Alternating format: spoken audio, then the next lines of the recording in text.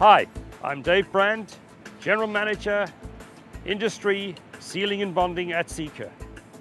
Behind me, we have the new housing project, Musanada Villages, Al Ain, Abu Dhabi region.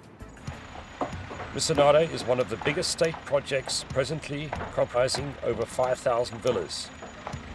Additionally, there are government buildings, schools and health centres. The challenge was to apply sealing products within a short time frame under extreme conditions for this huge project. Sika was chosen as the preferred partner because with Sikaflex Construction, we could offer a high performance product together with long-standing experience, technical support and training. Sikaflex Construction is based on Sika's innovative iCure technology.